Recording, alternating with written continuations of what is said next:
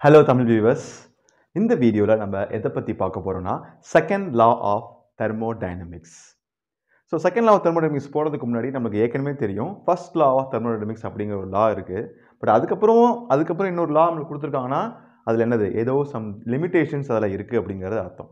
ஓகேவா ஸோ இப்போ என்னென்னா ஃபஸ்ட்டு ஃபஸ்ட் லா ஆஃப் தெர்மோடைனமிக்ஸோட லிமிடேஷன்ஸ் என்ன அப்படிங்கிறத ஃபஸ்ட்டு பார்த்துட்டு அதை எப்படி செகண்ட் லாவில் ஓவர் கம் பண்ணியிருக்காங்க அப்படிங்கிறத நம்ம ஃபஸ்ட்டு பார்ப்போம். ஓகேவா ஸோ ஃபர்ஸ்ட் லா அப்படிங்கிறது என்ன அப்படிங்கிறது முன்னாடி பார்த்தோன்னா ஃபர்ஸ்ட் லாவை பொறுத்த வரைக்கும் ஒரு சைக்கிளிக் ப்ராசஸாக இருந்ததுன்னா பாருங்க ஃபார் அ சைக்கிளிக் ப்ராசஸ் எனக்கு வந்து பார்த்தீங்கன்னா net heat supplied will be equal to net work done எதுக்கு? For a cyclic process okay maybe ப்ரொபோஷனலாக இருக்கலாம் இல்லை ஈக்குவலாக இருக்கலாம்.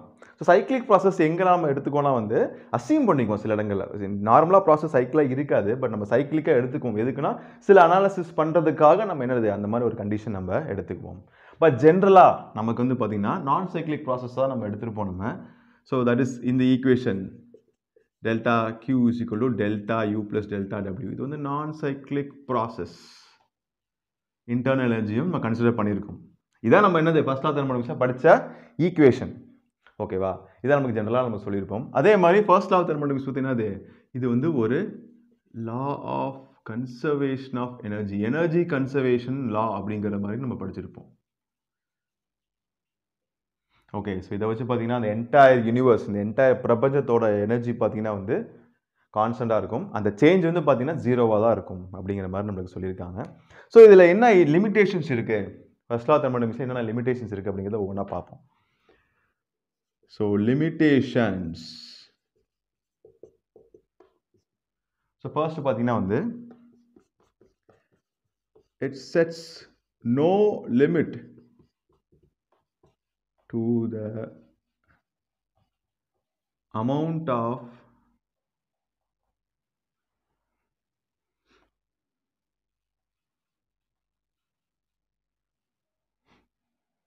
amount of energy of the system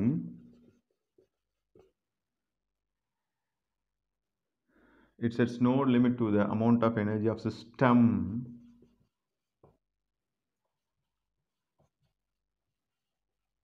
which can be caused to flow as work so இந்த பாயிண்ட்ல நம்மளுக்கு என்ன சொல்கிறாங்க அப்படின்னு பார்த்தீங்கன்னா ஸோ நம்மளுக்கு ஜென்ரலாக இங்கே பாருங்கள்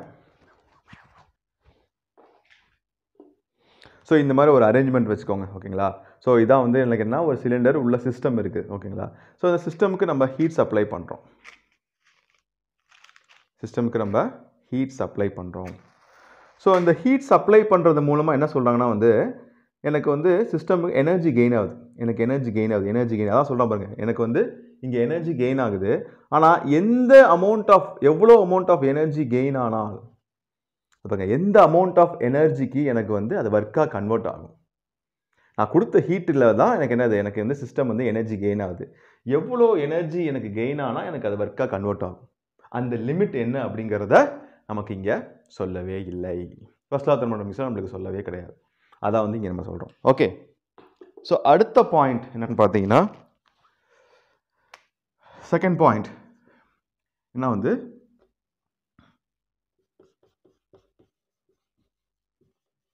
It does not specify the condition.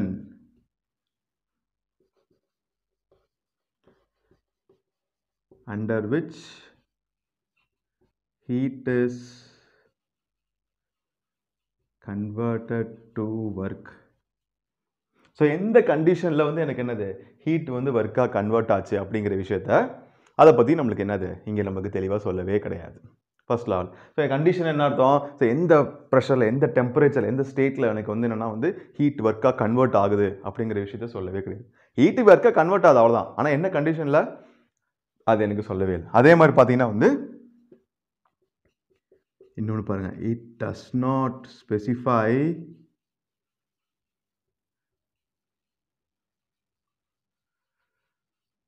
the direction of heat transfer. Does not specify the direction of heat transfer so heat transfer எந்த டைரக்ஷன் நடக்குது? எனக்கு அதுவுமே வந்து எனக்கு ஸ்பெசிஃபிக்காக சொல்லவே கிடையாது. ஓகே ஸோ அதே மாதிரி பார்த்தீங்கன்னா வந்து இன்னொரு விஷயம் பார்த்தீங்கன்னா ஸோ ஃபோர்த் பாயிண்ட் மேலே எழுதுனேன் என்ன சொல்லியிருக்குன்னா hundred percent efficiency of engine hundred percent efficiency of engine இருக்குது அப்படிங்கிற மாதிரி ஃபர்ஸ்ட் சொல்லியிருக்காங்க. பட் என்னது? அது கண்டிப்பாக கிடையாது அப்படிங்கிற விஷயத்தை தான் நம்மளுக்கு செகண்ட் லாவில் சொல்ல போகிறாங்க ஓகேவா ஸோ இதான் வந்து பார்த்தீங்கன்னா ஃபர்ஸ்ட் லா தெர்மோடைனமிக்ஸ் இருக்கிற லிமிடேஷன்ஸ் இந்த விஷயங்கள்லாம் தெர்மோ எனக்கு ஃபர்ஸ்ட் லாவில் வந்து தெளிவுபடுத்தலை. ஓகே ஸோ அதெல்லாம் வந்து பார்த்தீங்கன்னா வந்து செகண்ட் லா தெர்மோடைனமிக்ஸ் தெளிவுபடுத்திருக்காங்க. ஓகேவா ஸோ இவன் சொல்கிறான் ஹண்ட்ரட் பர்சன்ட் எஃபிஷியன்சி இருக்கும் இன்ஜினில் அப்படின்னு. ஆனால் வந்து அது கண்டிப்பாக இல்லை அப்படிங்கிறது எனக்கு செகண்ட் லாவில் சொல்லியிருக்காங்க. ஸோ என்ன சொல்லியிருக்காங்க பாருங்கள் ஸோ இங்கே பாருங்கள் செகண்ட் லா ஆஃப் தெர்மோடைனமிக்ஸ் எனக்கு ரெண்டு ஸ்டேட்மெண்ட் இருக்குது ஸோ ஒரு ஸ்டேட்மெண்ட் வந்து பார்த்தீங்கன்னா கெல்வின் பிளாங்ஸ் அப்படிங்கிற கொடுத்துருக்காரு. அவர் என்ன சில ஸ்டேட்மெண்ட் சொல்லியிருக்காருன்னா இந்த ஸ்டேட்மெண்ட் வந்து எனக்கு இன்ஜினை பொறுத்து எஃபிஷியன்சியை பொறுத்து இருக்குது இது அடுத்து பார்த்தீங்கன்னா வந்து எனக்கு அடுத்து செகண்ட் ஸ்டேட்மெண்ட் பார்த்தீங்கன்னா வந்து கோஎபிஷியன்ட் பர்ஃபார்மன்ஸை பொறுத்து கோஎபிஷியன்ட் ஆஃப் பர்ஃபார்மன்ஸை பொறுத்து நம்மளுக்கு இந்த ஸ்டேட்மெண்ட் இருக்குது ஸோ என்ன சொல்லியிருக்காங்க பாருங்கள் no process is possible whose sole result is the absorption of heat from a reservoir and the complete conversion of the heat into work so ஹீட்டை மொத்தமாக அப்சர்வ் பண்ணி அதை அப்படியே ஒர்க்காக கன்வெர்ட் பண்ணுறது பாசிபிளே கிடையாது.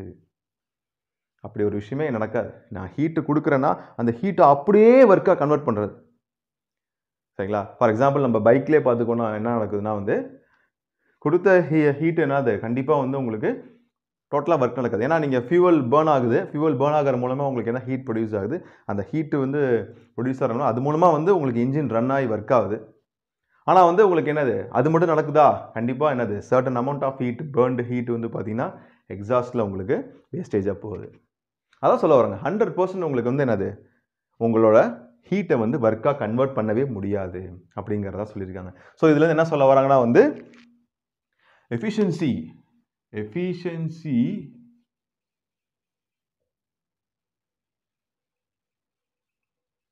cannot be unity.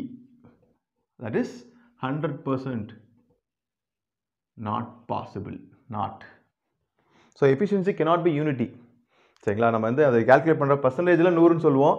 அதோடைய வேல்யூ போடுறப்ப என்னது? ஒன் அப்படிங்கிறது வரவே வராது. ஓகேங்களா? அதுதான் வந்து இங்கே சொல்கிறாங்க இந்த ஸ்டேட்மெண்ட்டை பொறுத்த வரைக்கும் ஓகேவா?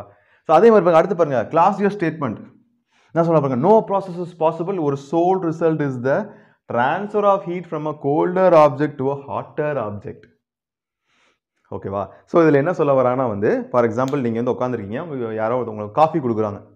ஸோ காஃபி கூட ரொம்ப சூடாக இருக்க வச்சுருக்கீங்க. ஸோ அப்போ நேரத்தில் உங்களுக்கு ஒரு ஃபோன் கால் வந்துருச்சு. நீங்கள் போகிறீங்க ரொம்ப நேரம் கழிச்சு வரீங்க. வந்து பார்த்தா காஃபியோட டெம்பரேச்சர் வந்து ரொம்ப கம்மியாயிருச்சு.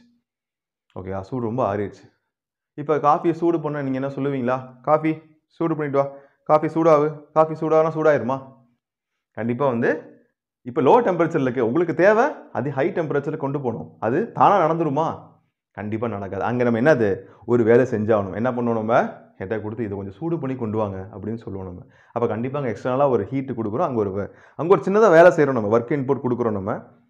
ஓகே அதுக்கப்புறம் தான் என்னது? உங்களுக்கு காஃபி சூடாகுது ஓகே அதை தான் இங்கே சொல்கிறாங்க என்ன சொல்கிறாங்க உங்களுக்கு லோவர் டெம்பரேச்சர் ஹையர் டெம்பரேச்சர் தானாக கொண்டு போகவே முடியாது.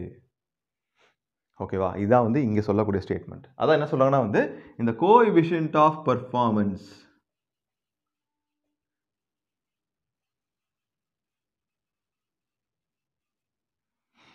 என்னது? Cannot be cannot be infinite. எனக்கு இன்ஃபைனைட்டாக இருக்க பாசிபிளே கிடையாது. எப்போ எனக்கு இன்ஃபைனைட்டாக இருக்கும் இங்கே பாருங்கள் ஸோ சிஓபி வந்து பார்த்தீங்கன்னா either heat supplied or heat rejected by work done இந்த ஒர்க் டன் வந்து எனக்கு ஸோ இந்த ஒர்க் டன் ஜீரோ ஆனால் மட்டும்தான் எனக்கு என்னது? இந்த டேர்ம் வந்து எனக்கு இன்ஃபைனைட் ஆகும். ஒர்க் டன் ஜீரோ ஆனால் மட்டும்தான் எனக்கு இன்ஃபைனைட் ஆகும். பட் எந்த வேலையுமே செய்யாமல் பாருங்கள் அந்த காஃபி வந்து உங்களுக்கு என்ன சூடாகுமா? Naturally it is not possible கண்டிப்பாக வந்து ஏதாவது வேலை செஞ்சு தான் ஆகணும்.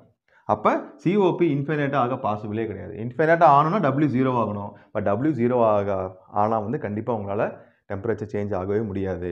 அப்போ இது கண்டிப்பாக நாட் பாசிபிள் அதை தான் இங்கே தெளிவாக சொல்கிறாங்க லோ டெம்பரேச்சர் ஹையர் டெம்பரேச்சர் நீங்கள் கொண்டு போகவே முடியாது நேச்சுரலி சம் எக்ஸ்டர்னல் ஒர்க் பண்ணி தான் ஆகணும். ஓகே ஸோ இதான் வந்து என்னது? Statement of second law of thermodynamics இது வந்து ஃபர்ஸ்ட் லா தெர்மோடைனமிக்ஸ் இருக்கிற லிமிடேஷன்ஸை ஓவர் கம் பண்ணி நம்மளுக்கு இங்கே ஸ்டேட்மெண்ட்ஸ் நம்மளுக்கு கொடுத்துருக்காங்க.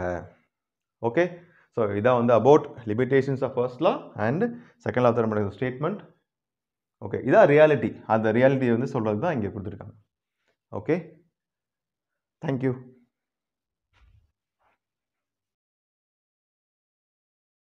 ஸோ இந்த வீடியோவில் second law of thermodynamics explain பண்ணுறதுக்காக ஒரு சின்ன டெமோ அதில் கெல்வின் பிளாங்க் ஸ்டேட்மெண்ட் ஸோ கொடுக்குற மொத்த ஹீட்டுமே வந்து ஒர்க்காக கன்வெர்ட் ஆகாது அப்படின்றதுக்காக ஒரு சின்ன எக்ஸாம்பிள் தான் இங்கே நம்ம காட்ட போகிறோம் ஓகே வாங்க போகலாம் ஸ்டார்ட் பண்ணுங்க. ஸோ பைக் ஸ்டார்ட் பண்ணிட்டாங்க. ஸோ உங்களுக்கு தெரியும் வந்து பார்த்தீங்கன்னா இங்கே இன்ஜினில் பார்த்தீங்கன்னா வந்து ஃபியூவல் பேர்ன் ஆகி அந்த ஹீட் மூலமாக தான் உங்களுக்கு இன்ஜின் வந்து ரன் ஆகுது. ஸோ இங்கே வந்து என்ன? ஹீட் மூலமாக உங்களுக்கு ஒர்க்கு நடக்குது. என்ன ஒர்க் நடக்குது? இன்ஜின் வந்து ஒர்க் ஆகுது. ஆனால் உங்களுக்கு என்ன சொல்லியிருக்காங்கன்னா வந்து மொத்த ஹீட்டுமே வந்து ஹண்ட்ரட் பர்சன்ட் ஒர்க்காக கன்வெர்ட் ஆகாது. கண்டிப்பாக என்னது? பாதி ஹீட் வந்து உங்களுக்கு வேஸ்டேஜாக வெளியே போகும். ஸோ இந்த எக்ஸாஸ்ட்டில் பார்த்தீங்கன்னா வந்து